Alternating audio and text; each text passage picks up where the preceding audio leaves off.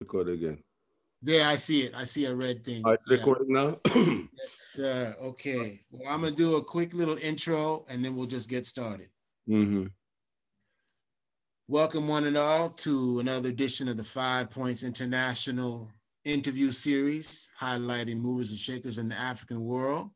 On this second edition, we're pleased to be here with the Honorable, the Eminent, the Professor, I was getting just a napkin. okay, Ibrahima Seck. Ibrahima Seck, ladies and gentlemen.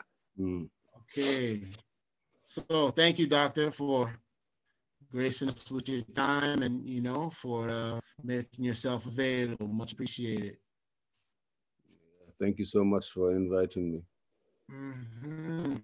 Yeah. So I was just wanting to give you an opportunity to uh, introduce yourself to the people, um, a little bit about uh, where you're where you're coming from and uh, your your your career, your history, and the things that you do. Yeah, my name is Ibrahim Seck. I'm from Senegal, West Africa. I was born six years ago on a cornfield near the Senegal River. Yeah, I'm from a family of farmers and uh, cattle raisers. You know, I remember the time when my grandfather and my uncles coming to the to that town. It is a town. It is a city, a very old city on the Senegal River, and they used to come to the house, bring their camels and things like that. But at home, we were farmers. You know, we had a, a cornfield by the by, by the river. And uh, my mother always raised cows and goats, and I grew up in that. I wasn't supposed to be a historian or anything like that, just to take care of the cattle and cultivate the land. Mhm. But my mom made the mistake to take me to school. it was, uh, I say, mistake, you know. Uh, it was really hard at the beginning. You know, that colonial school where they beat you to teach you how to say A, B, C, D, E. Oh, of course, that was a French colonial school, A, B, C, D. And it went with a lot of beating. and I always said to my mom, Why did you take me to that school? They beat us all the time. He said, Just sit in there. You will, you'll know later. And then um, I, I did well. I always did well. And uh, my mom was not educated, but really smart. The only thing she know she knew in French and which she, she always told me is premier. Premier. Uh, one one premier, uh, you know, she spoke of Fulani, one premier. Be just the, the, the, the number one Mhm. at school. Uh, I was often number one at school, but not always. But that's the, the, the only way for her to push me forward. And I kept doing well. And then uh, when I graduated, when I was 12 years old from, high, uh, from uh, primary school, they took me about uh, 300 miles away up uh, downriver to Saint Louis, Senegal, the first capital of Senegal and French West Africa. I spent there seven years for middle and high school at Lycée Charles de Gaulle, Charles de Gaulle High School. And uh, after my baccalaureate, uh, after graduation, um, I landed at the history department uh, at the University of Dakar. And that was an accident. People were really uh, surprised because they always thought I would be a, an English teacher or something like that. But I, I'm glad I did not become Mhm. a English teacher. I became, uh, I found it really interesting to be a historian. And after four years, after my master's degree, I, I went to the uh, École Normale Supérieure, that's uh, the uh, school for training teachers, education, uh, School of Education of Dakar. Uh, I spent there one year, and then in 1985, I was uh, appointed a history and geography teacher at Lycée Blaise Diagne, Blaise Diagne High School. So I taught there for about 20 years, and about 1993, no, after my first visit to, to the United States, that was in 1989. I was selected with uh, nine, uh, eight other African teachers, history teachers from Madagascar, from uh, Djibouti, Congo, Chad, uh, Niger, Mali, Guinea. Uh, it was nine of us invited by the State Department to visit the United States that's when the, this country put a lot of money in education and culture. So mm-hmm. that's what they call the International Visitor Program. We started in Washington, D.C., and then they took us to uh, Springfield, uh, Springfield, Illinois, where I saw the house of Abraham Lincoln. Uh, from Springfield, they took us to Oxford, Mississippi, then uh, to San Antonio, Texas, and then up northwest to Seattle. And uh, we ended our visit with New York, you know. In, in fact, we, we landed in New York and then uh, also to go back to Africa, we flew from New York. So one thing is was really important in my career visiting Mississippi. Mm -hmm and we were hosted by the University of Mississippi at, Ole Miss, uh, at uh, Oxford, Ole Miss. And which year is this again? That was in 1989, September yeah. 1989. It lasted a year. I mean, no, not a month. Mm-hmm. So when we were hosted by the University of Mississippi at the time, uh, the direct, uh, the, they have uh, what they call the, the Center for the Study of uh, Southern Culture. Mm-hmm. You know who was the director? Bill Ferris. Yeah, yeah. Mm-hmm. yeah. Bill Ferris, and uh, he brought us a, a, musician, a blues musician, James Son Thomas. Uh, mm-hmm. Yeah. Maybe you know you knew him, and uh, he was one of the last Delta blues singers. Yeah. Mm-hmm. Thomas, you know, I know. I didn't get to meet his father. Yeah, he, he was an artist he he made sculptures, but also uh, during the daytime he buried people too, and did see his uh-huh. art. And at mm-hmm. night he picked a guitar. Mm-hmm. Probably in the past he picked cotton during the day, and then at night he picked a guitar. Mm-hmm. So when he started playing, as soon as he started, you know, my mind just went back to Mali, to Ali mm Mm-hmm. I was so amazed to see someone like this, like like uh, this uh, elderly man playing the guitar, and it reminded me of many musicians also from Senegal, from the from the Senegal River, Fulani musicians.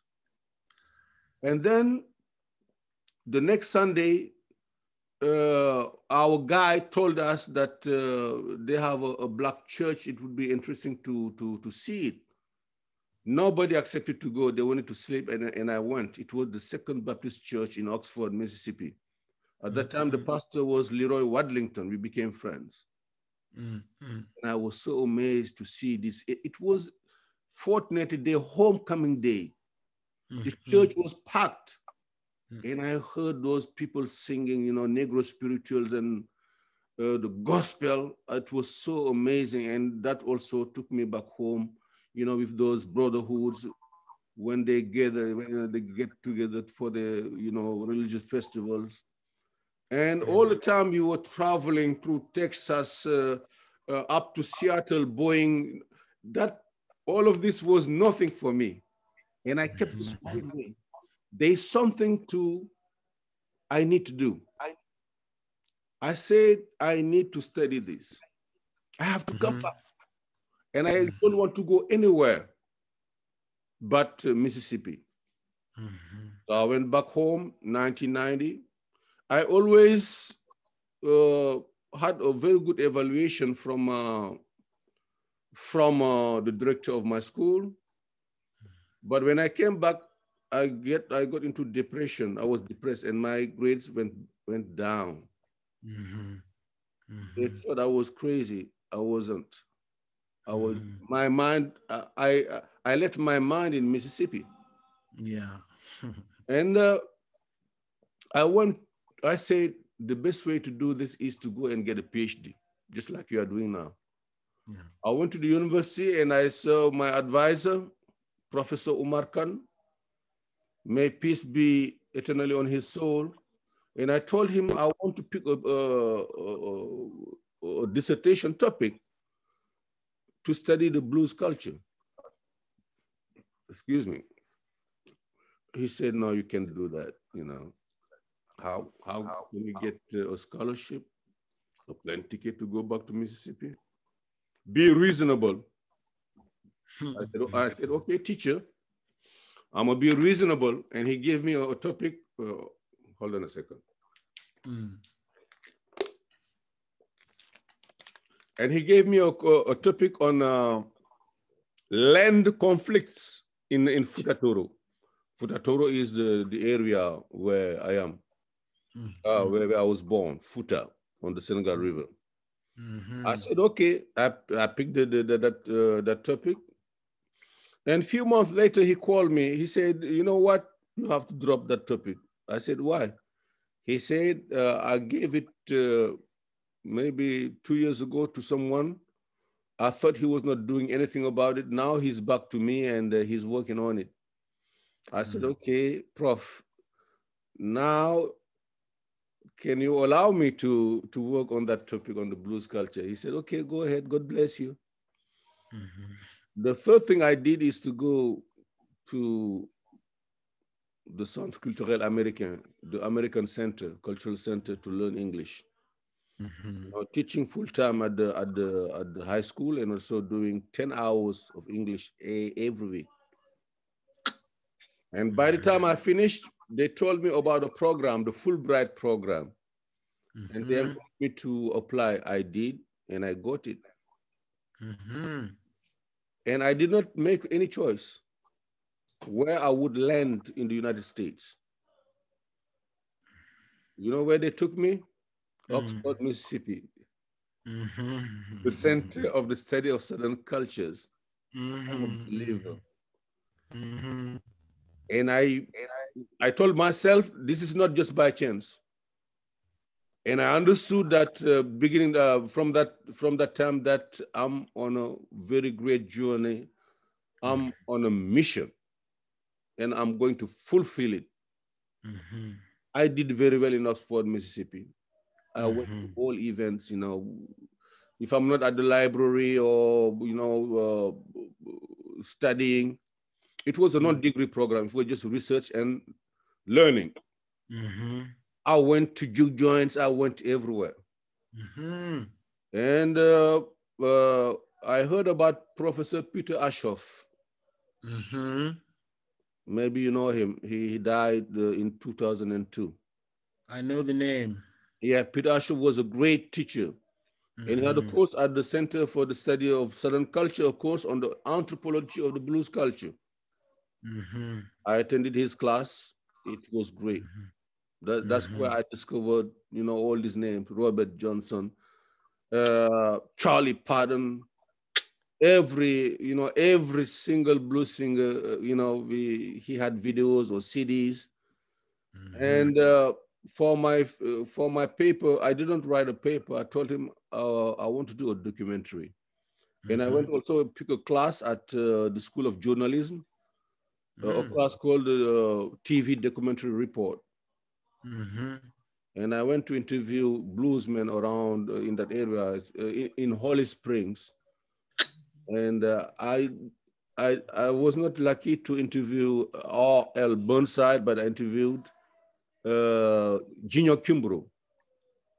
Yeah. You know those people? I, have seen Junior Kimbrough yeah. at his joint. Yeah. Yeah, the Hill Country, and also interviewed people around Jim uh, Kimbrough. And I told uh, Jim, you know what? I went to R.L. Burnside's uh, house, but he would not talk to me. He said, Ibrahim, don't, don't, don't worry about it. He was just drunk. yeah. yeah. Yeah. Yeah. Yeah. yeah. And, uh, he was he was joking. But I, I saw them, all of them perform in Oxford, in juke joints, everywhere. Mm. And also, uh, I made a trip to New Orleans in December 1995. Mm. The program started in uh, August 1995 and ended in July, August 1996. So I was living in New Orleans at that time. I didn't. I was at that time. Mm-hmm. Yeah, I was still there. Mm-hmm. Okay, mm-hmm. that's one thing. The other thing is mm-hmm. my uh, encounter with Gwendolyn Midlo Hall.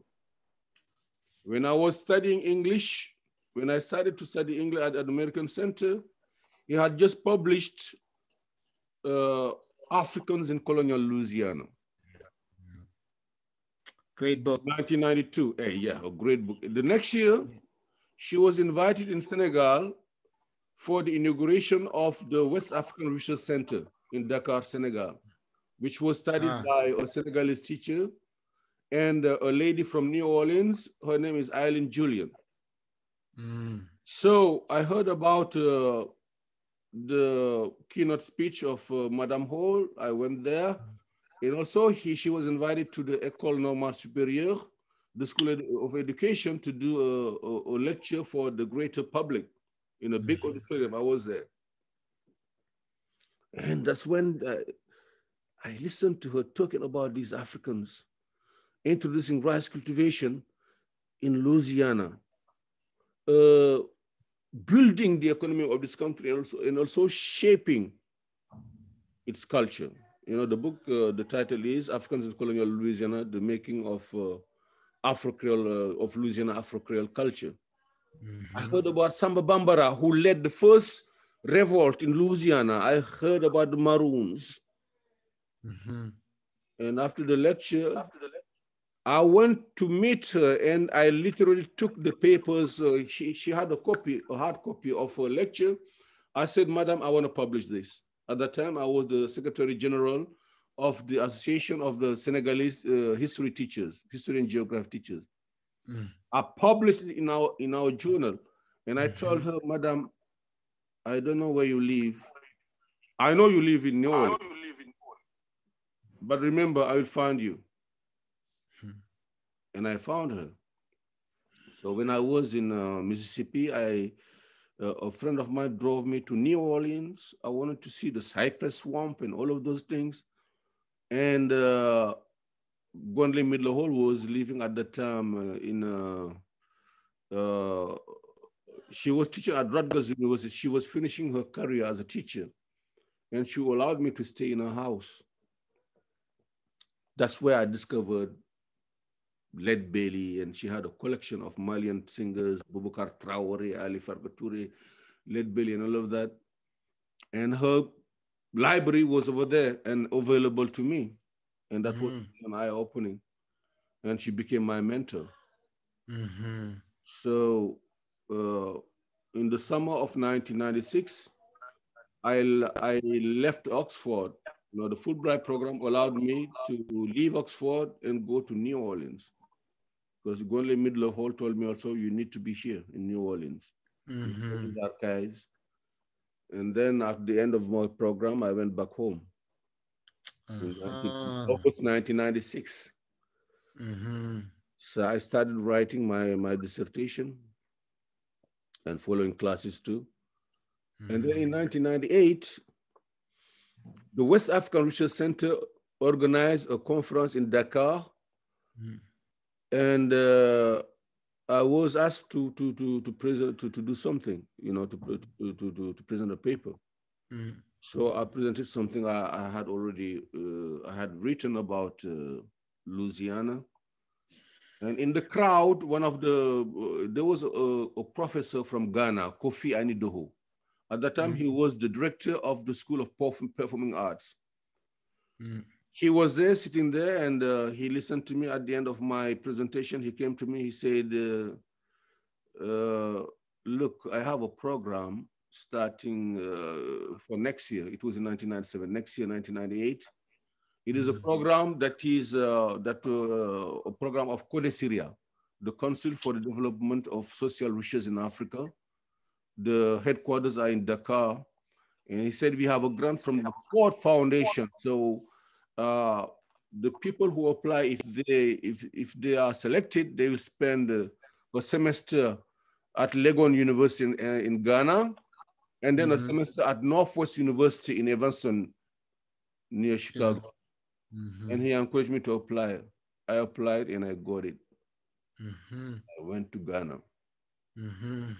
And you know, Ghana, I was so overwhelmed, overwhelmed by the culture over there. You know, we are up north, and a lot of our culture was either eradicated, erased, or weakened by Islam. Mm-hmm. But in Ghana, Mm-hmm. I really was deep in the in African culture. Everywhere Mhm. you go. And you know, Mhm. you have layers of cultures as you travel north to Bolgatanga, Tamale, into Burkina Faso. When you Mhm. go from the Akan world up to the Moshi world, you know, Mhm. it's uh, overwhelming. And Kofi Anyidoho took us everywhere. From Mhm. Accra to Takoradi to the uh, uh, border of Cote d'Ivoire. He took us Mhm. north to Kuma, uh, I mean, center to Kumasi, Sunyani, and also farther north to Tamale, Bolgatanga, Wa, Sandema, Gwolu, in all those cities. And when we went to uh, they, they were digging the grave of the late President Hilla Limann. Mhm. Yeah.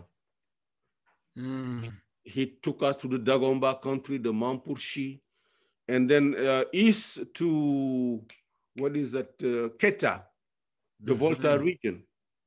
So Mhm. we saw every single uh, castle along the along the coast, from the Cote d'Ivoire to the frontier of Togo. He, we did not Mhm. stop there. We went into Togo and into Benin. Mhm. In Benin, we went up north to uh, what is the capital of that uh, of the Dahomey? Uh, but anyway, Mhm. so that was really something that was great for me, and I really realized, you know, what my uh, one of my professors was uh, Cheikh Anta Diop. I said, Mhm. Yeah, I wanted to talk to you about that. Yeah. Yeah, in 1983, Mhm. and uh, he was a great teacher. Mhm. And it was traveling in Africa, that's where really I realized what he said. That uh, you know, the ethnic the ethnicities, those are just Mhm. like labels on us. Mhm. But if you take that label off, we are all the same. African Mhm. cultural unity. Mhm. Mhm. Yeah. That was Yeah, I mean, that, that's amazing. You're you're part of a, a mighty lineage because you say the name Cheikh Anta Diop, and that says that Mm. says everything. You know, it's Oh yeah, It's that's thing. And, uh, there was a great teachers too. Uh, Ibader Cham, who died recently. Oumar Kane, who always was my advisor. Uh, let me name uh, just to recognize all these great people. Uh, Yoro Yoro Fall, uh, Ibn Masar Diagne, Sekene Modi Cissoko from Mali, Musa Suma from Guinea, Mhm. uh, Cherno Diallo from Guinea too. Mhm. So we were in, in good hands. Mhm. See, it is really important to have good and great teachers. yes. Education is the key to everything. Mhm. Education, like uh, I think George Washington Carver said, is the key that unlock the golden door to freedom. Yes, I. Yeah. Mhm. After we left, uh, uh, when we finished our program in Ghana, they did a second selection for the people who would qualify to go to the United States. And I passed that test. Mhm. So uh, they took us to Northwestern University and uh, yeah, we were hosted by PAS, the Program of African Studies, you know, studied by Melvin Herskovits. Uh-huh. Melvin Herskovits. Yes. Yeah. Yes. Yes. And nearby there was the Africana Library, Mhm. where you find almost everything you need to know about Africa, its history and culture. It was there available to me, to, to us, Mhm. 1998. Uh-huh. Uh-huh. And when I finished that program in 1998, uh, in June, I got on a, a Greyhound bus.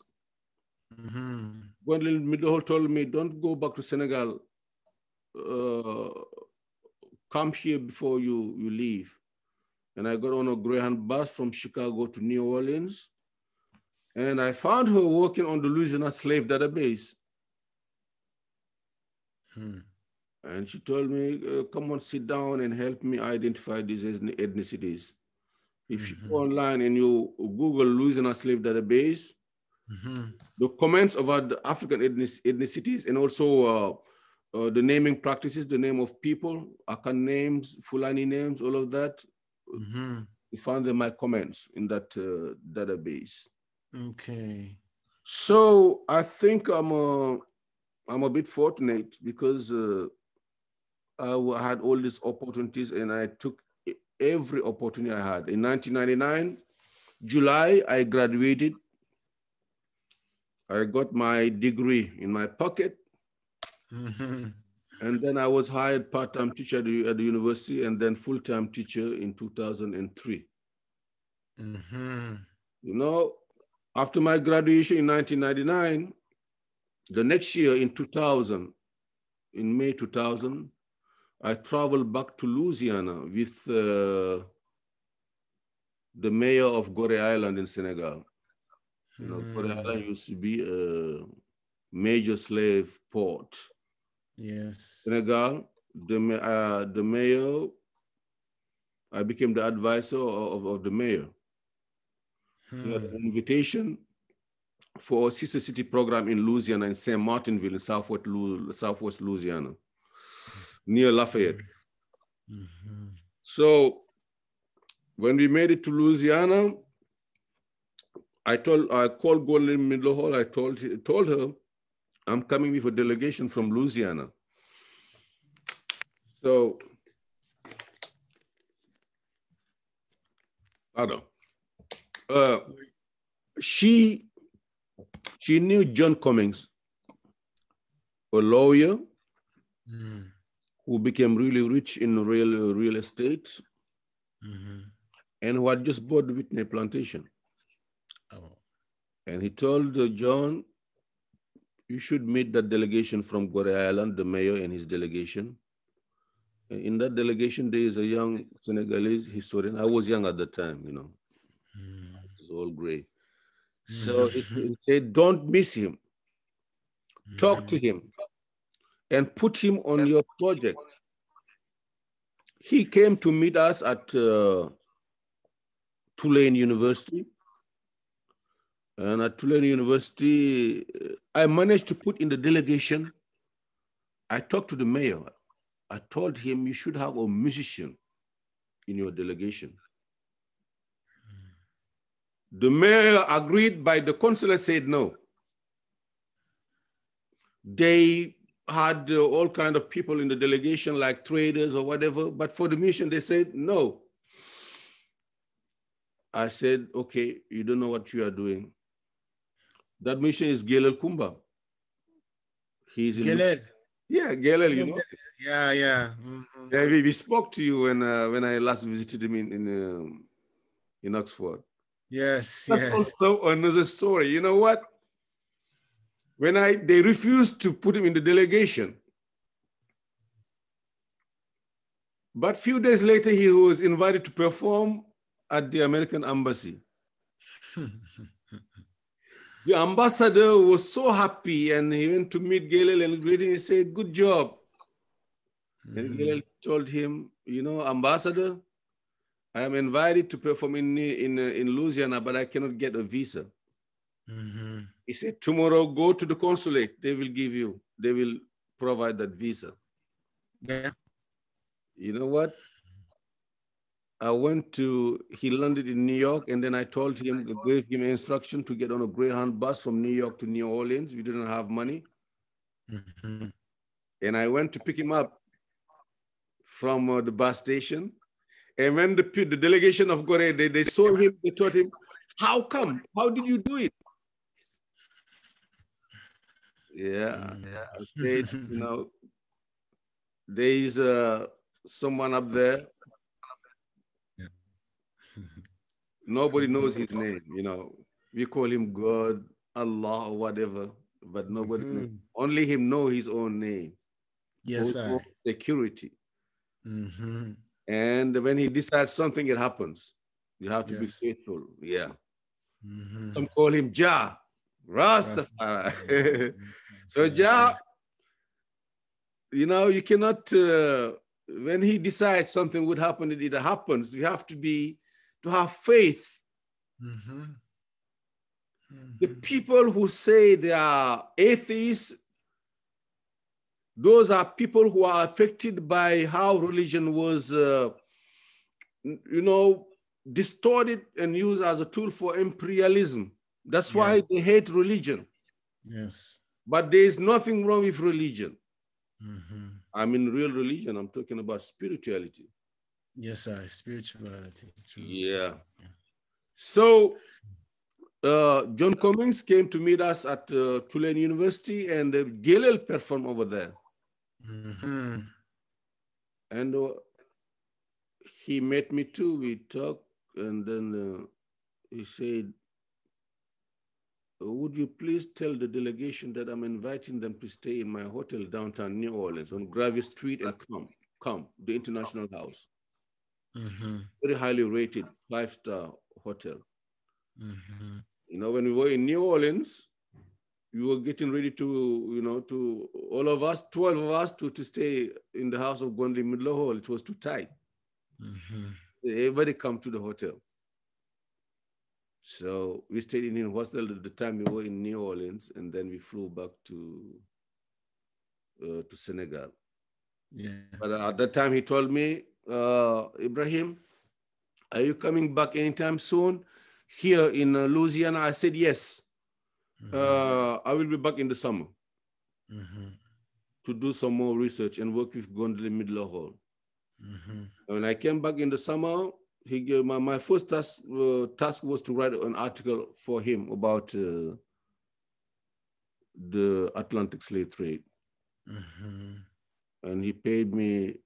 He gave me eight hundred dollars to write that uh, paper, mm-hmm. mm-hmm. and that's when we started. You know, uh, he hired me to be the director of research, and I mm-hmm. would come every summer and stay through the through the through the fall from uh, July to October and then mm-hmm. fly back home to teach at the University of Dakar. I did that for 12 years. Uh-huh. Mm-hmm. And in in 19, I mean in uh, 2012, mm-hmm. he was able to get a, uh, he decided to hire me full time. He said, you should come here in Louisiana, bring your family. Mm-hmm and that's how we, uh, he went to get us uh, visas and uh, took the children to school, all mm-hmm. of them. Mm-hmm. And even my wife was back at the university. They all went to UNO.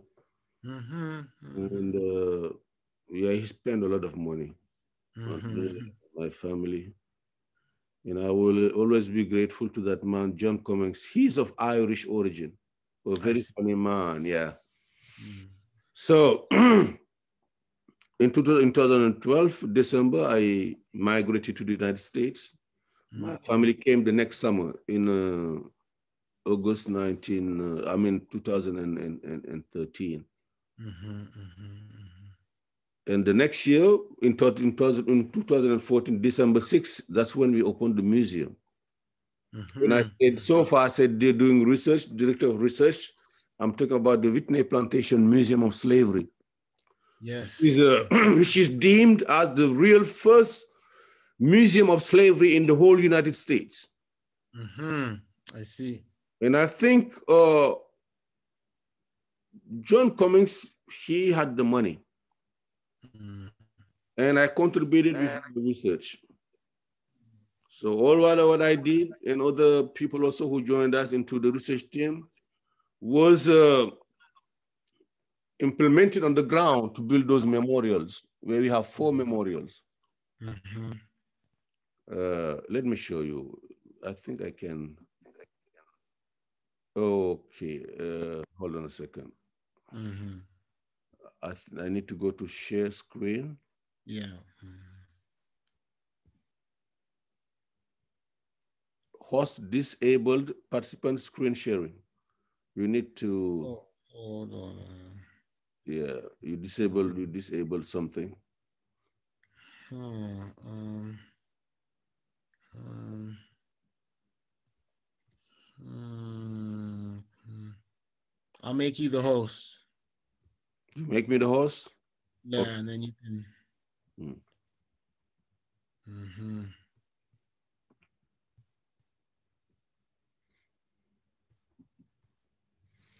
So, uh,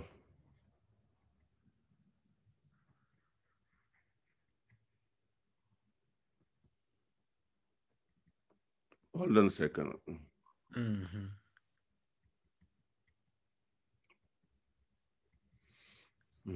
Okay. Let me see.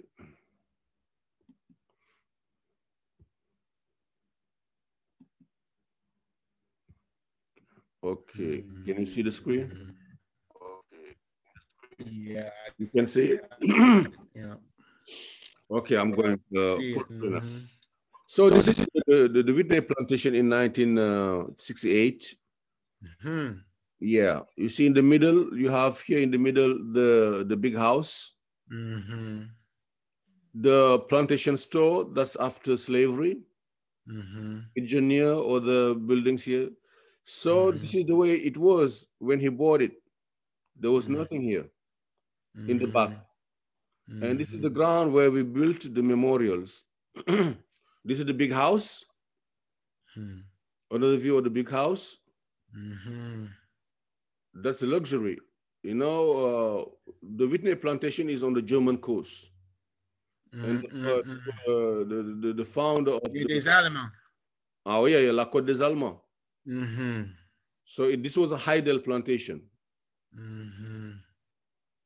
When they came over here in Louisiana, you know what happened to them. You know, many died of starvation, and Mm. then uh, those who survived became farmers, Mm. And uh, they became really wealthy when they had the opportunity to have Africans working for them for free. Mm-hmm. From starvation to luxury, you see, this is luxury. Mm-hmm. And the house I just showed you is a really highly rated house. This is the kitchen. Hmm. Look at those pots. Wow. Mhm. Wow. The kitchen is built out of the house. You know, Louisiana, it's very hot. Yeah. So, and the master did not have to be bothered with uh, heat, uh, odors, and uh, and smoke and all of that. They take care of the Mhm. kitchen, slave cabins on the plantation, Mhm. on the, the slave ca- uh, the slave cabins, and the killers. I call them killers. These kettles. Yeah. Yeah. These kettles killed many of our ancestors here in Louisiana making sugar. Yeah. Mm-hmm. Uh, these were in the sugar mill. Mm-hmm. And you know how they boiled the, juice to, unto, to, to granulation? It was a very dangerous process. Mm-hmm. And you see, this is the ownership of Whitney Plantation. It started with Ambroise Haydel from Germany. Uh-huh. Then uh, Jean-Jacques Haydel, his younger son. This is the second uh, generation born in Louisiana, Jean-Jacques Haydel Jr. and Marcelin Heidel. Mhm. Marie Azélie Haydel, the wife of Marcelin, the last uh, Heidel owner of the plantation. Mhm. And then he went to Bradish Johnson, who was from Louisiana, but uh, who made his career in uh, New York. Mhm. Then uh, it became the property of Saint Martin, Perrin, and Tassin, and uh, Perrin and Tassin. Then Bonds, Formosa Chemical and Fiber Corporation, and then John Cummings, 1999. Like I told you, I met him the next year, he bought this plantation. Mhm. Is uh, him. Mhm. Samba is my is my African name. Mhm. Yeah, because I'm the second Hmm. boy in my family. Okay. Okay. This is a church that was donated to the to the plantation, and uh, inside the church here, these are Wow. children of Whitney, built by uh, an African American uh, uh, artist. He, uh, his name is uh, Woodrow Nash from Akron, Ohio. Mm. You know well about uh, the uh, this uh, what they call the so-called slave narratives that were collected in the 1930s by the Federal Writers Project. Yes. Those people who were enslaved, who were born enslaved, were still alive when they were interviewed in the 1930s. Yes, sir. But the, the memories of, the, of slavery they were delivering were memories of childhood. That's why we decided to pick those stories stories to make them available to the public, Mhm. engraved on granite. People Mhm. telling themselves, you know, what they what they had lived on these plantations. Hmm. So instead of representing them as uh, like elderly people, we decided to represent them as children, you know, Yeah. to match those Mhm. childhood memories. And we call them the children of Whitney. Wow. Powerful. It really works. Mhm. You know, some sometimes people go, you know, when they go to plantation, it is fun. Yes, I'm going to a plantation. But when they get to the Whitney at the beginning, you see them in the welcoming center buying, you know, things, the gift shop, Mm. agitated. But Yeah. once they we take them through the, the tour, the church, and they see these, these children, they all Yeah. become quiet Yeah. until the end of the tour. Discipline. Yeah. Mm-hmm. So these are the children of It's powerful, you know. There's Mhm. so many, so much denial of the history. I'm sure that um, people have violent reactions, emotional reactions to having to deal with the history that they have been avoiding so long. Yeah, you see, the problem of this country and many countries all around the world is education, Mm, hidden history. mm, Many people who come to the plantation, black and white, they often say, Why nobody taught me that when I was in school? hear it all the time. Yeah. I know a lady who told me she didn't know anything about slavery until she saw roots. Hidden history hurts. Yeah. But you know what? You know what? Truth, truth is like fire. Yes. Speak. You may decide to sit on it, hide it, and sit on it, but not for too long. It burn you. Uh-huh. Mhm. Yeah, and I don't know why this country is so stubborn. The problem of America is a problem of hidden history. Yeah. But you cannot hide it. You can run, but you can hide. Hey, we we dealing with the fire right now, aren't we? Absolutely. And, uh, and uh, yesterday I was doing an uh, exchange on Facebook with friends, Mm. and I told him this country is going toward its destruction. Mm.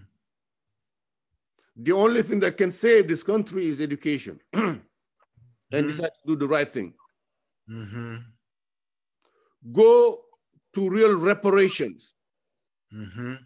Spiritual healing. So much of blood Mm-hmm. was spilled in this country. Yes. They killed Native Americans. They Mhm. killed Africans, they enslaved them, and used their labor. Mm. You cannot do that and hope to have peace. Mm-mm. And sooner or later, if they don't do real reparation, this country is going toward its destruction. Yes, sir. We have, but I'm confident we have people like Trump. Mm-hmm. But even with people like Trump, we learn something. Mm-hmm. Yeah. We have very good people in this country too, no Mhm. matter the shade of the color. I Mhm. hope they will fix it. Mhm. When Americans understand something, uh, when they understand the right thing to do, they can fix the, fix things. If they don't, Yeah. this country is going toward destruction. Yeah. You Mm. think in individualism, the American selfish concept of individualism has anything to do with the the reason why we're in such a bind? Absolutely. This is a system, Yeah. Mm-hmm. and this country was built for the people who have money.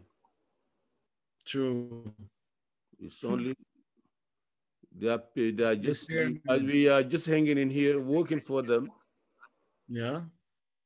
but this country is for people who have money. And look at the the people who have money.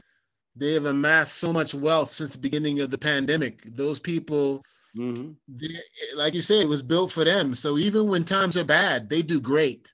Absolutely. You- Absolutely. That's the way this country is built. Yeah. And this cannot last forever. No, true, true. Uh, it, cannot, it cannot last forever. Well, I wanted to ask you also, um, you touched upon um, the connections between Senegal, Senegambia, and South Louisiana. So I wanted you to speak on mm. uh, the linguistic heritage okay. that uh, connects the cultures, mm. and especially also the concept of gumbo. Okay, let me get to that. You see, uh, this is uh, the Wall of Honor. Mm-hmm. Dedicated to all the people who were enslaved on the Whitney plantation. This is another view of the Wall of Honor with our ambassador mm-hmm. who visited us, Ambassador Amadou Ambassador of Senegal. Mm-hmm. The, the place named after Gonli Midlo Hall. We used the name in the database to make this virtual cemetery. Mm-hmm. Yep. The Field of Angel, dedicated to children who died in slavery. Mm-hmm. Another view of the angel. We use a lot of art to tell the story of slavery. This uh, mm-hmm. sculpture was built by uh, Rod Moorhead of Mississippi. Mm-hmm. Yeah. And we have also a memorial dedicated to the people who fought in the 1811 slave revolt in Louisiana, the largest ever, 20 years mm-hmm. before Nat Turner. Mm-hmm. You know, these people decided to do the, just like Haitians to be free and build mm-hmm. a, free country. Mm-hmm. But they did not have enough firepower, a lot of determination, but not enough firepower. Mm-hmm. Some were mm-hmm. killed in the action, some went missing, but most of them were captured and taken before tribunals of uh, slave owners, and uh, most of them were killed. Mm-hmm. Shot to death in front of the plantation where they belong, and then beheaded, and the heads were posted on poles. And that's mm-hmm. the meaning of this uh, memorial. Mm-hmm, mm-hmm, mm-hmm. You see. So let's go to culture. Mm-hmm. These are people who were enslaved in Louisiana, and the first black male, two of the first, three first black males of New Orleans came from this family went mm-hmm. on the Haydel plantation. I'm talking about the family of Marc Morial, who is here. Yes. The third mayor, Marc Morial, and uh, his father, Dutch Morial. This is the Dutch. master, Sybil Haydel. Mm-hmm. I see. Yeah, I know all of them. This is Jack. Mm. I'm, uh. I'm almost uh, okay. There. mm-hmm. So I always told the people at the museum, slavery, and in all my lectures, slavery is not only a history of deportation, hard labor, mistreatments. We have to think about one thing. They built the economy of this culture, of this, of this country. Basically, Africans built and their descendants built the foundation of the economy of this country. During slavery and also during slavery under another name, during Jim Crow. But beyond all of that, we have to think also of culture. They contributed tremendously to the definition of American culture. Mm. In fact, all what makes this country so what we like, the America we like, was built by enslaved Africans and African Americans. Mm-hmm. And can be the, the music, blues, jazz, zydeco, rock and roll, rap, hip hop. Red beans and rice. Red gumbo. beans and rice, gumbo, jambalaya, couscous. Yes, yes, yes. The way you walk, the way you talk. Yes, sir. So I always tell them we have to also talk about the culture. It has to be there. Mm. I was successful to have uh, panels about culture in the Welcoming Center. Mm. But culture is not out there, just like the four memorial I, I did show you. Mm-hmm. For, for unfortunately, you know, COVID uh, is slowing down everything. But I hope that one day when you go through you know, the, the, the museum, it is an open air museum, culture will be there. Mm-hmm. Okay. Uh, this is the different area where the people came. They came from all from all over the place, but mm-hmm. most of them mm-hmm. came from Senegambia. Mm-hmm. Now, what I call Senegambia, that's what I call the maritime provinces of the Empire of Mali. Yes, I. We West Africans we are all Malians.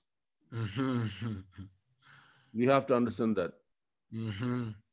And we have also to define what is Mali. Mm. Mali is not only the now the Republic of Mali.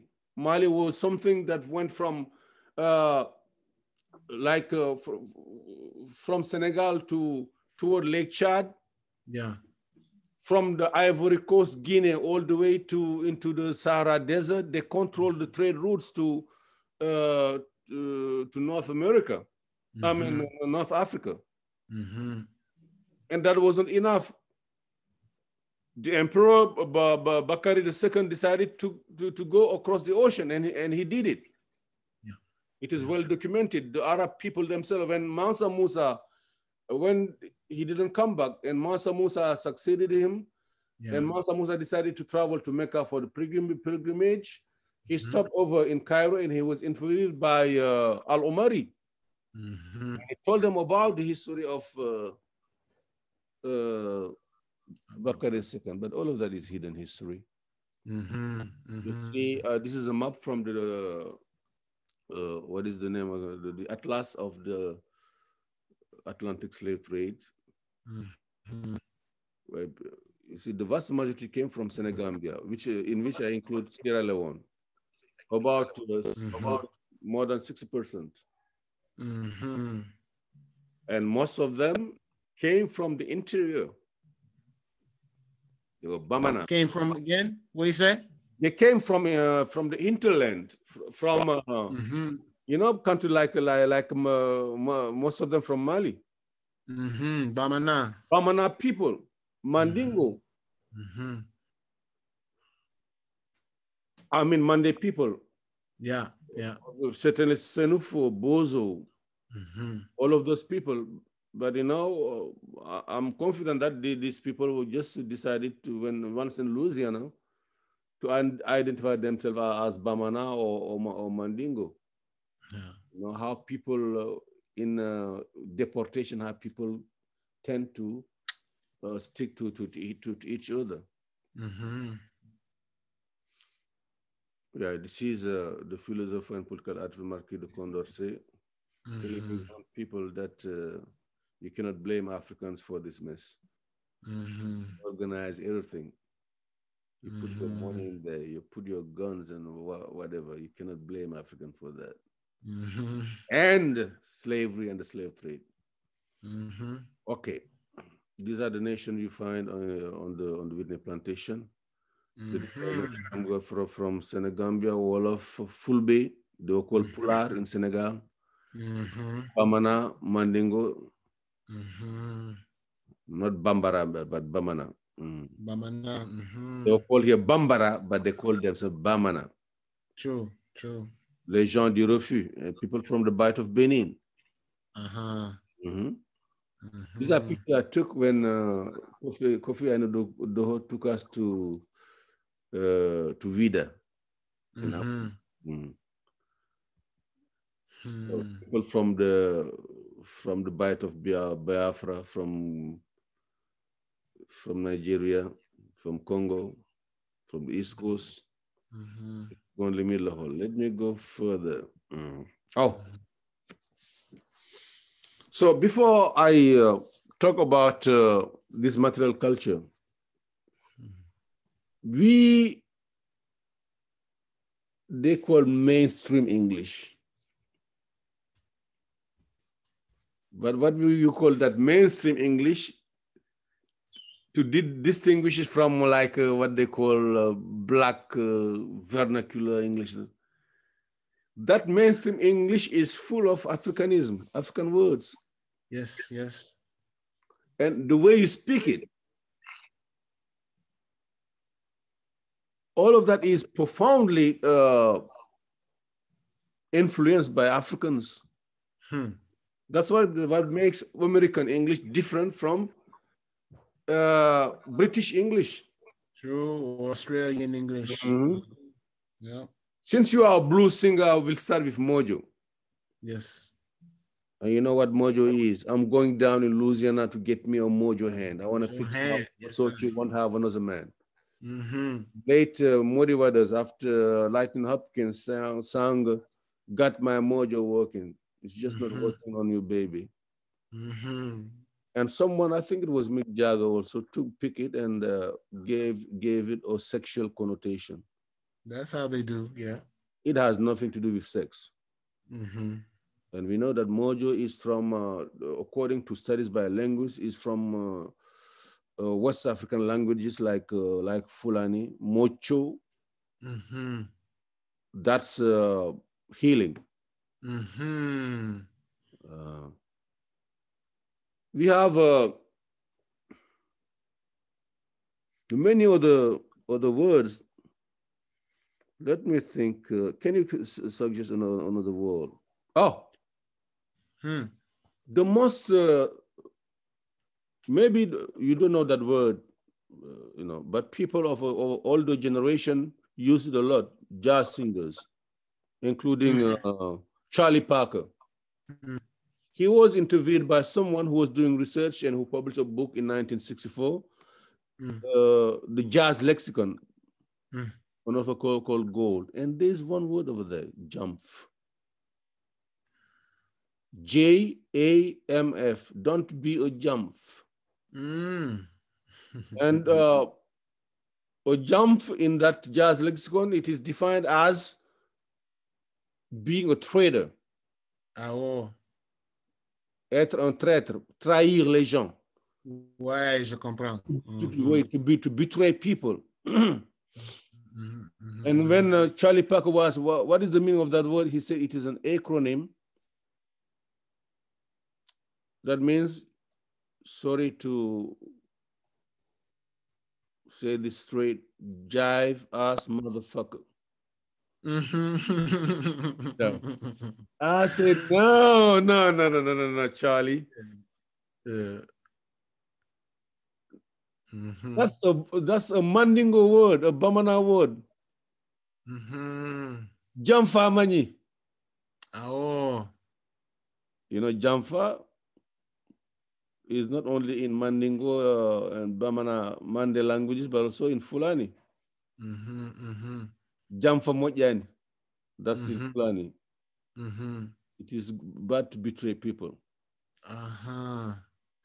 You know, Well, it is, that's that's deep. It makes me Uh-huh. think of uh, my my grandmother, my great grandmother.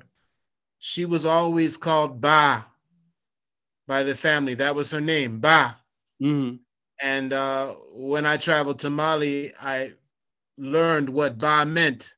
I did not know. I didn't know. I was just knew that my grandmother, her name was Lula Rush, but everyone called her Ba. You know, back in those days, everyone had an African name. Mhm. And um, anyway, it just made me think of it. Go on. You were talking. No, when you say Ba in Mandingo or, or Bamana, uh, that can mean great or the elder, Mm-hmm. like Surukuba, the great hyena. Mm-hmm. Mm. Uh, yeah, we said mojo, we said jamf. What about juke? Mm. Juke or juke? Like a juke joint. Yeah.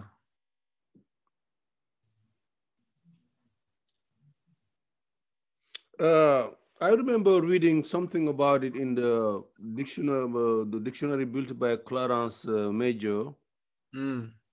about uh, juke, but I don't remember what she, what she exactly wrote, uh, what she said about it. Mm-hmm. Probably linking it to Wolof. Mm-hmm. Jog Mm. may, meaning to rise up. Mm-hmm. yeah. What do you know about that word? Oh, you know, I don't I don't know much. That's why I was asking you. I had heard um some things, but I don't, it's been a long time. I don't have the sources, so I don't want to say anything joint. wrong. Mm. But um, another word that comes to mind also is boogie. You have any etymology on the word boogie? Boogie woogie. Mm-hmm. I know that uh, an English, uh, an English uh, writer, Mm. David Dalby, linked it to to Boogaroo. Mm-hmm. which is a, a type of music from uh, Casamance in Senegal. Boogie. Mhm. You know, also um, my Ah. my friends in Conakry, when they see someone who has a lot of weight and someone is heavy, they say bugurabu. Mhm. Yeah. but we have Boogaloo in, in, in Louisiana too. Mm. okay, boogaloo, exactly. I Uh-huh. want a Boogaloo. Mm-hmm. Mm-hmm. I can link it to Wolof Mbugalu. Mm-hmm. Mbugalu is to hurt yourself Mm-hmm. with joy, with dance. And you know that makes sense because when you're getting down, someone's gonna say, "Don't hurt him, don't hurt." him." Absolutely. And you know that song by Lead Belly? Um, dig a hole to put the devil in. Um, dig Yeah. to put the devil in. How can you uh, dig a hole to put the devil in? You don't do it with shovels. Mm-hmm. You do it with your feet, dancing so hard Mm-hmm. Mm-hmm. and opening that hole. You know, that's yes. that's why in Wolof we say toroxal seytaane. Mm. Toroxal Satan is give uh, is to give hard time to the devil Ah, wow. by dancing on it, you know. Mm-hmm. Mm-hmm. Une danse qui creuse un cratère pour enterrer le diable. Ouais, ouais, tu vas enterrer le diable, ouais. Voilà. Toroxal. Mhm, toroxal Satan. Mhm. There are so many, uh, so many things. You see, uh, Africans have to be involved in diaspora studies. Yeah. We are not enough involved in diaspora studies. studies. And I think we have a lot to contribute to the study of the diasporas. Mm-mm. Because what we can see, people who are born and raised here cannot see enough. Mhm. We have the experience of African culture in our country, and then when you get over here and you have the the, the, the, the, the luck to be lucky enough to discover African American culture, Mhm. and everything you see takes your memory back to Africa. Mhm. Mhm. Mhm. So there are so many words in a, uh, I, I have them in my upcoming book. No, I just don't remember now. But we talked about rice cultivation. Mhm. You see this uh, Acadian lady, lady here. Mhm. It was uh, Mhm. was taken in 1904 in Crowley, Louisiana, using a mortar and a pestle. Mhm. And you see this, uh, Straw mat. yeah, Mhm. it's like we do it in Africa. Mhm. She's processing right here. You have African ladies processing millet Mhm. in say that country. Mhm. And of course, not only they brought with them, you know, rice cultivation Mhm. and also the making of grits, Mhm. actually hominy grits. Mhm. The grits you make, you make with broken mm, corn. Yeah, that's what I grew up on. Yeah. Yeah, Mhm. that's a signature food uh, along the Senegal River. Mhm. Corn is not indigenous uh, of Africa, but once we got it, it became a very important staple for us, and we've been making grits for hominy grits for for for, for a very long time. Mhm. So, So I was following um, uh, a thread the other day on Twitter, and people were saying that uh, there's so many different ways to make gumbo. And from my grandmother, she was from she was from Thibodaux, Bayou Lafourche, but she grew Mhm. up in New Orleans and also Lake Charles. And when she would make gumbo, she would make it with okra.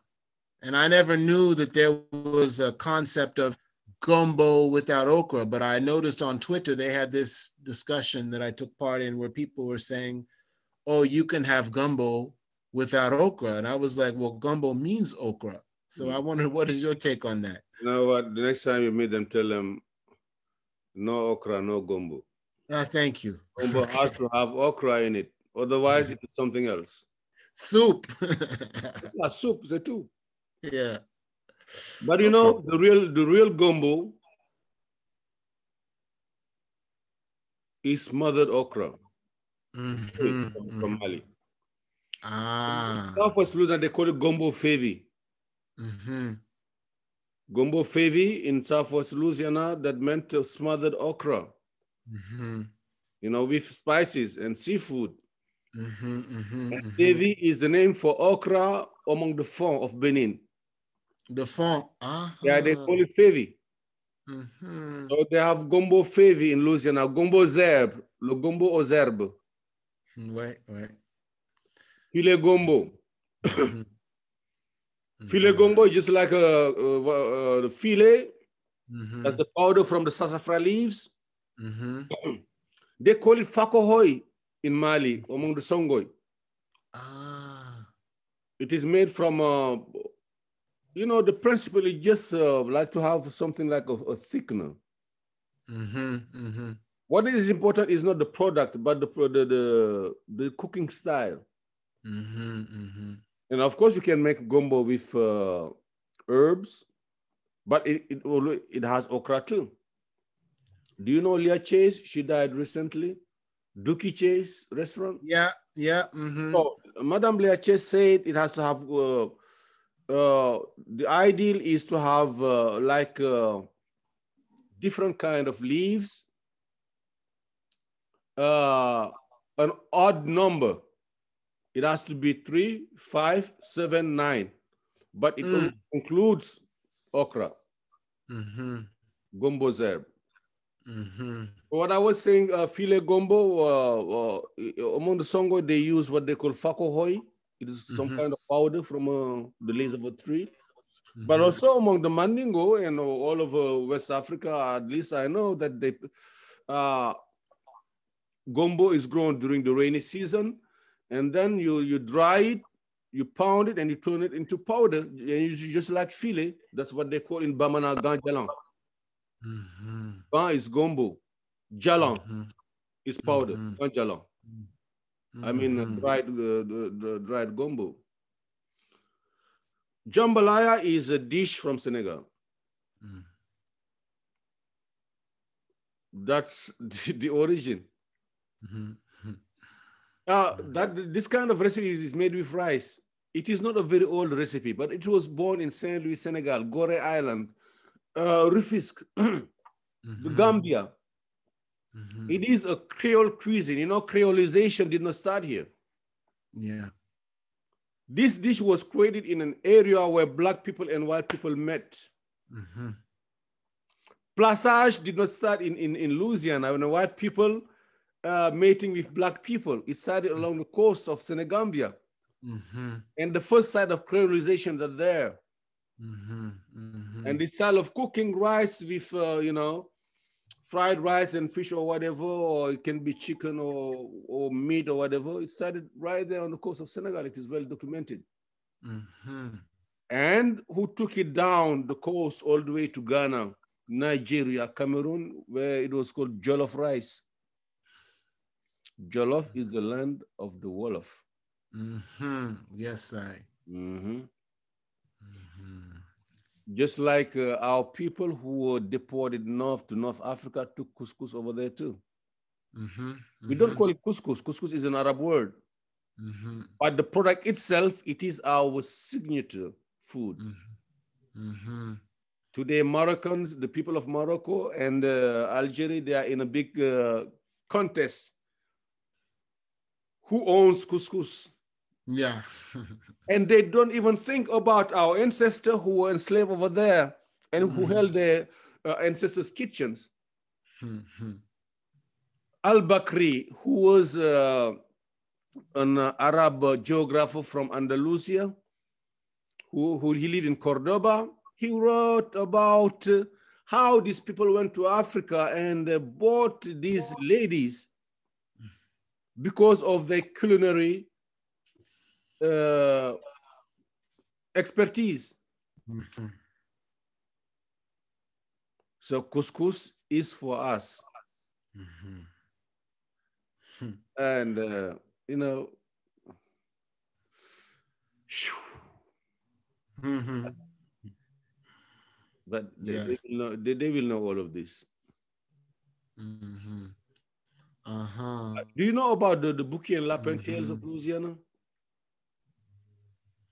I've heard some, yes.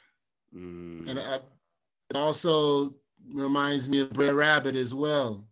yeah, uh, Lapin became Brer Rabbit, and Mhm. Big Buki became Brer, Brer Fox in the in the English speaking. I mean, South.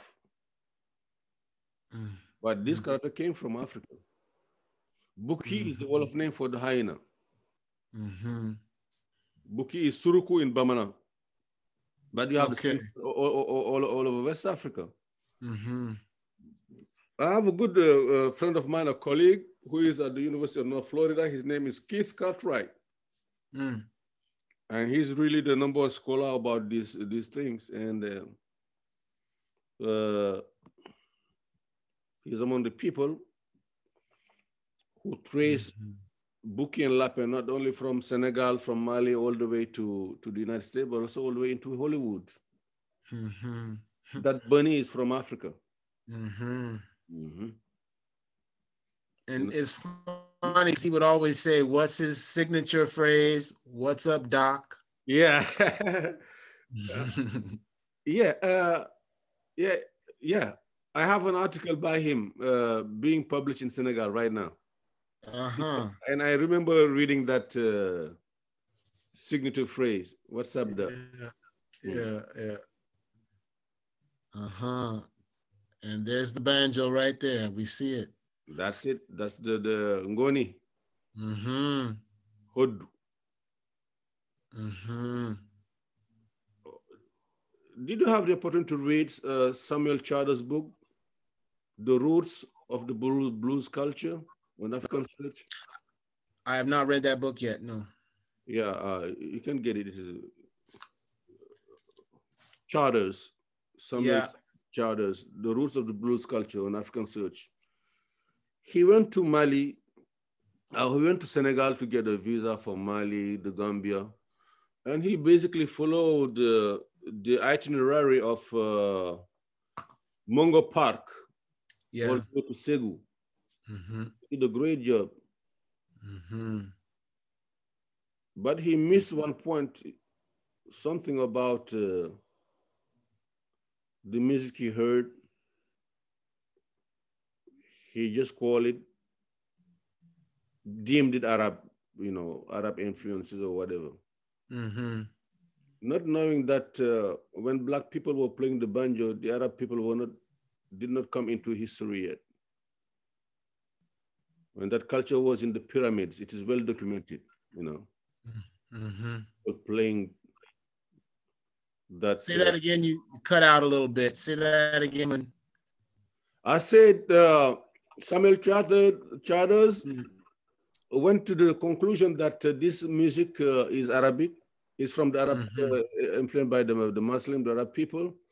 Just like he said the, the, the flamenco was, but I, black people have been playing this at a time when even there are people did not come into history. mm-hmm. Mm-hmm. and it's you. well documented. You can find it in, in, uh, in the pyramids, Mm-hmm. like the, the, the tomb of uh, Ramses, uh, Ramses, Ramses III. Mm-hmm. You see these beautiful ladies playing, even the ladies playing playing that banjo. Mm-hmm. And I call it the roots of all of all American music. Mm-hmm. Mm-hmm. Very true. You know, you know, uh, you know very well why uh, black people drop the banjo. You don't find Mhm. many black people playing the banjo. Mm-hmm. because the material is important. The African banjo, uh, you know Don Vappie? Yeah, I know Don. Yeah, I played with Don. Yeah. Yeah. Uh, Don, uh, he, I was involved in a panel with him. Mm-hmm. And everything I said, he did show it to the, to the public, and we did not communicate about it at all. When I told Mhm. him that uh, the dongoni is a drum hidden under strings, you know, just like uh, the church here was telling the bluesman that this is haram, you know, mm-hmm. it's the devil's music. Mm-hmm. And I said, the ngoni or the wood, uh, the hodu, I would say it in, in, in Fulani, mm-hmm. was the the instrument that became really uh, really popular in a mm. context mm-hmm. dominated by Islam. Mm-hmm. And you find griot holding Dongoni even around the marabout. Yeah. So when I say that to, to Don Vappie, he he uh, dismantled his banjo and he showed me there's a drum inside the banjo. Yeah. Uh-huh. Mm-hmm. And uh, and I told him also uh, black people walked away from from banjo because of the materials too. Mm-hmm. This is mostly iron, you know. Uh, it is not just like the, the, the African ngoni. And he told me, yes, you, you're right. The African ngoni has a softer sound mm-hmm. because of the materials you use. Mm-hmm. It is mm-hmm. wood, le- uh, I mean, uh, hide. You have a hide, you know, also the strings mm-hmm. were formerly made with a horse, uh, horse, horse tail. Yeah. Mm-hmm, mm-hmm. And uh, those uh, those those strings you, you, cannot just pick it up from a, a dead horse. It has to be a, a, a horse that is live, uh, alive. Mm-hmm. mm-hmm. And also uh, the, the the the body of the dongoni. Yeah. It is better to get it from a tree that carries very sweet fruit. Uh-huh. Which uh, tree now? Uh, it can be, uh, I don't know the name in English. Uh, en français, on dit jujubier. And even a mango tree. Mm-hmm, mm-hmm. En français, c'est quoi? Euh, le jujubier. Jujubier. Yeah. Mm-hmm. J-U-J-U-B-I-E-R. Okay. Uh, it, it carries very, very, very sweet uh, kind of fruit. Mm-hmm. So,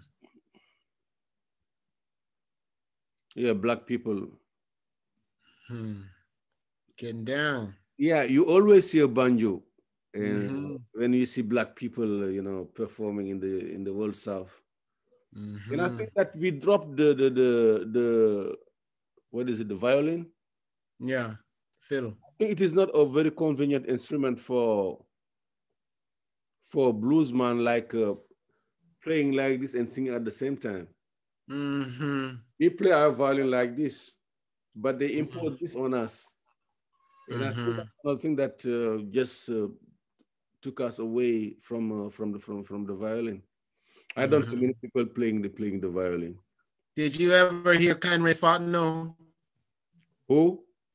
Canray Fontenot. Maybe I heard his music. Uh, he played the violin.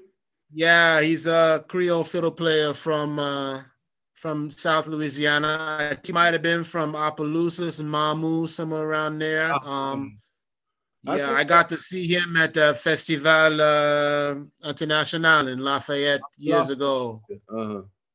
Yeah. Uh, no, I haven't seen him yet. Yeah, he passed away years ago, but he was with uh, Bois Sec Ardoin. Uh, okay. Yeah, Bois Sec and Canray Fontenot. Anyway, mm-hmm. He was, he was, so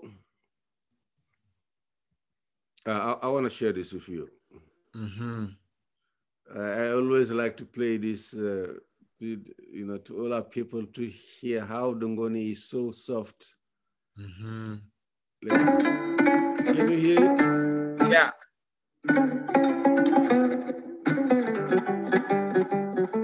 This is a friend of mine. This was recorded here in Mississippi in 2013.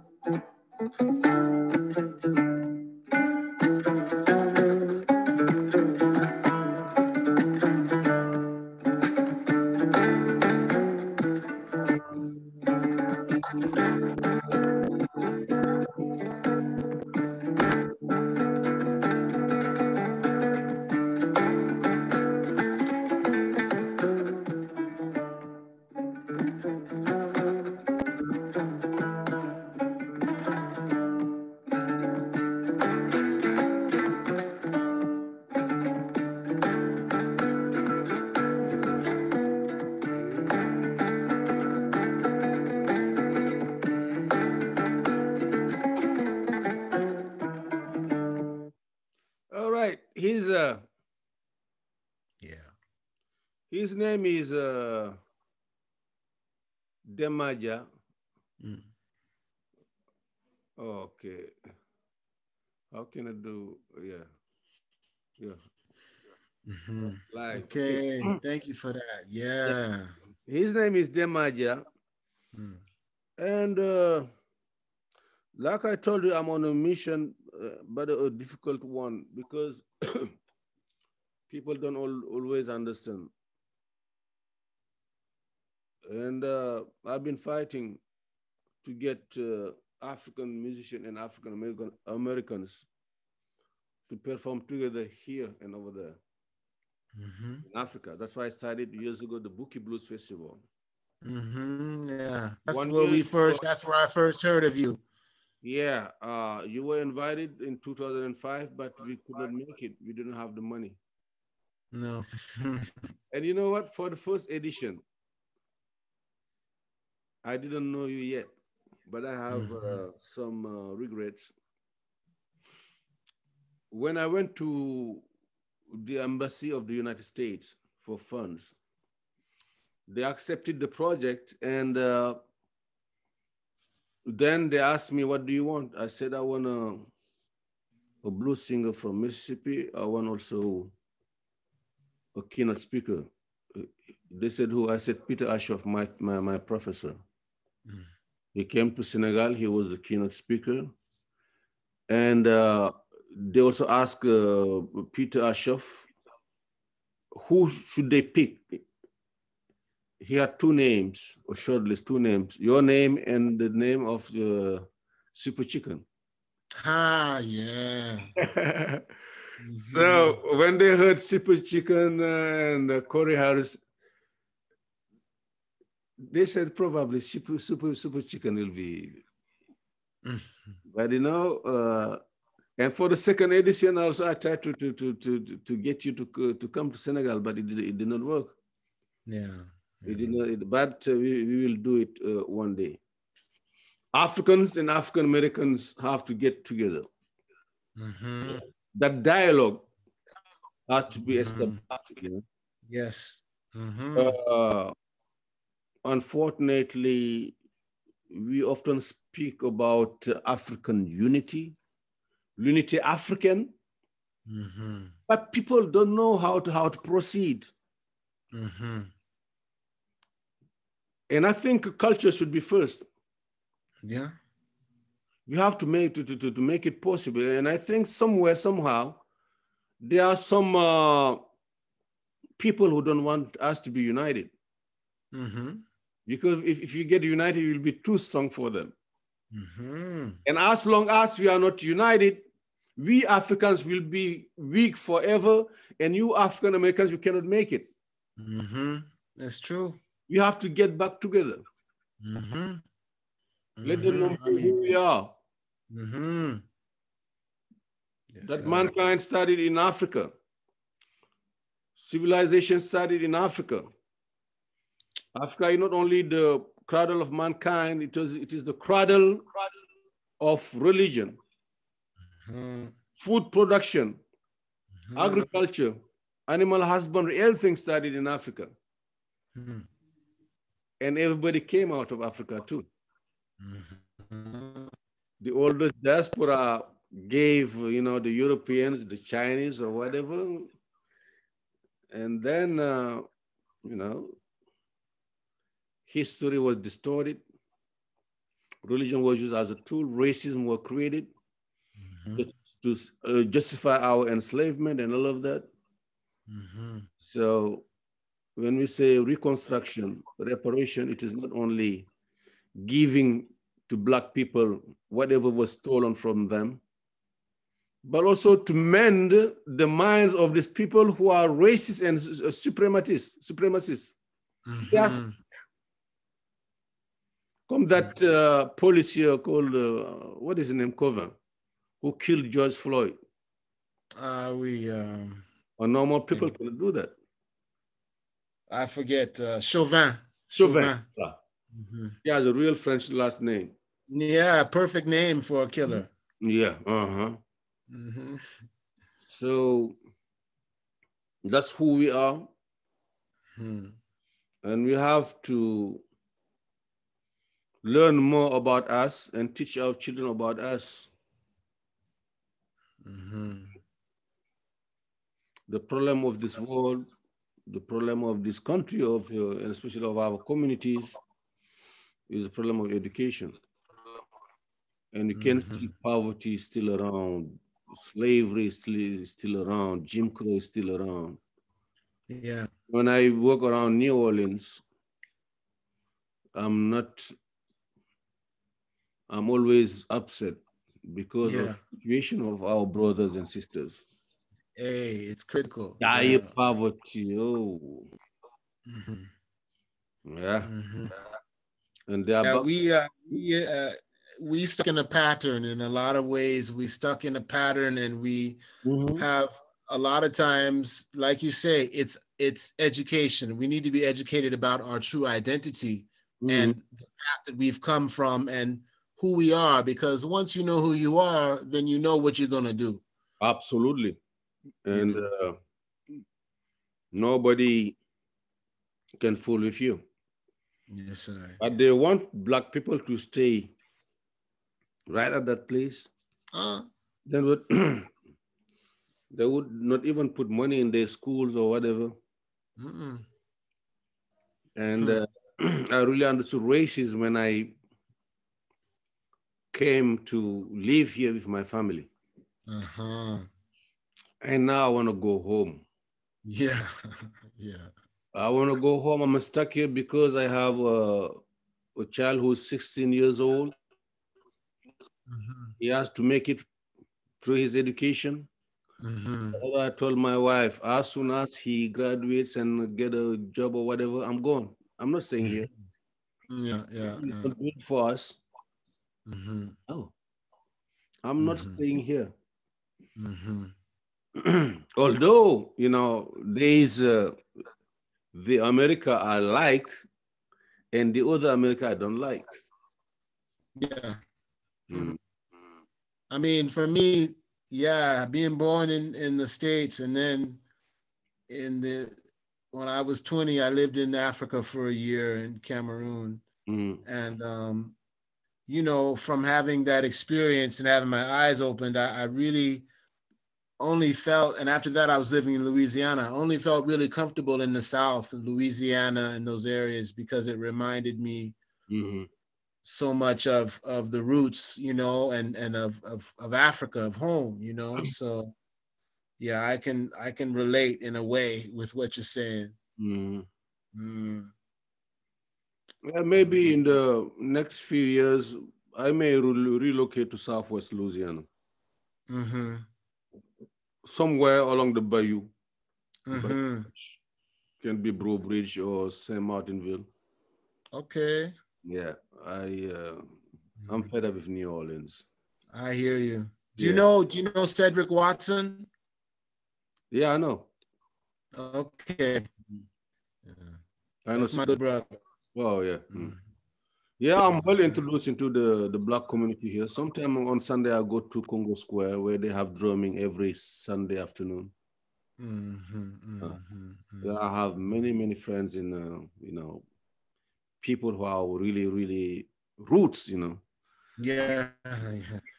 I mean, I can't wait to down there, and uh, you know, I'm praying that you'll still be there once I get out of where I am and make it my way back to the states. I definitely want to meet up with you in in Louisiana. Yeah, I'm here. I'm here. Okay. Uh, right now, I'm sharing my time between Dakar and New Orleans, Mm-hmm. like six months in Dakar and six months here in New Orleans. Mm-hmm. Mm-hmm. I cannot stay longer because right now I'm a holder of a green card with my Mm. family. Mm. Uh, in uh, three years from now, we can apply for citizenship. But as when you have a green card, you have the obligation to stay in the United States for six six months. Yeah. Mhm. Yeah. Mhm. I see. They just I want see. to. They just don't uh, give you that green card and you stay in your country and you come here where, whenever you want. They want you Yeah. to be in the United States and generate some wealth. Yeah. Right. That's, right. they need That's what it's about in their eyes. Uh-huh. Yeah. Mhm. This is it. Wow. Well, um, I appreciate your time. I know this has uh, been a little longer than we planned, but I really thank you for the knowledge that you dropped, and I'm sure that the viewers are going to be the richer for for your words with us. I just may make sure to you're gonna have a lot to edit. No problem. I, what I'll probably do is, you know, I I'm new to this editing thing, so I'm gonna probably just put the whole thing on. Uh huh. If I figure out how to edit it, I will. But um, well, you could stop recording now, Okay. and uh, yeah.